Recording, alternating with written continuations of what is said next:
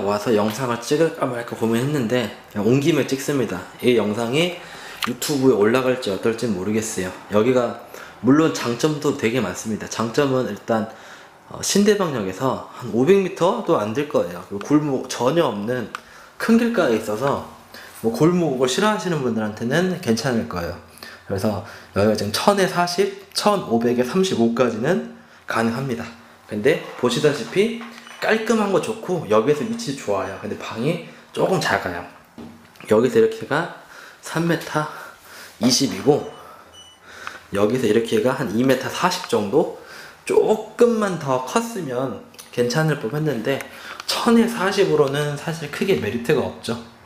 그러니까 방 나는 방 크기가 작아도 음, 방 크기가 작아도 어, 골목 가는 것보다는 큰 길가가 낫다 하신 분들한테는 제가 추천을 드리겠지만 깔끔하고 여기서 뭐 10분 정도 걸어도 되는데 좀 넓이까지 됐으면 좋- 대부분은 그렇죠 대부분의 분들이 말은 처음에 뭐 이렇게 좀 작아도 되고 좀 오리지도 되고 하지만 막상 이제 바- 같이 방을 보다 보면 다 깔끔하고 넓어야 되고 여기서 또 멀면 안 돼요. 그렇기 때문에 여기 이 방을 제가 유튜브에 올릴진 모르겠지만 어 1,500에 35만 원 치고 지상층 치고 여기서 큰 길가 에 골목 없는 거 받고 어, 관리비 6만 원 정도로 해서는 아, 현재로 전 저로서는 제가 가진 다른 매물들이 조금 더 메리트 있는 게 있기 때문에 조금만 더 여기서 멀고 조금만 골목을 들어가도 된다 이러면 어, 굳이 요 방을 보여드리지는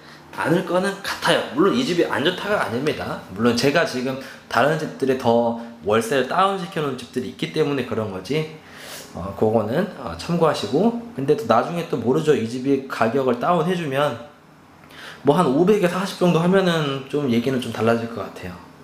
일단은 여기까지 사진이 그래도 왔으니까 여러분들은 모르겠지만 제가 유튜브에 올린 방만 여러분들은 보니까 방을 많이 보고 별로인 거는 아예 올리질 않거든요. 아무튼 그래서 여기는 조금 하, 좀 애매하다 이거를 올릴지 말지는 사무실 가면서 고민해 봐야겠네요. 어, 재생 목록 누르시면 가격대별로 방 다 정렬 해놨으니까 요거 보시고 어, 시세 참고하시면 되고요.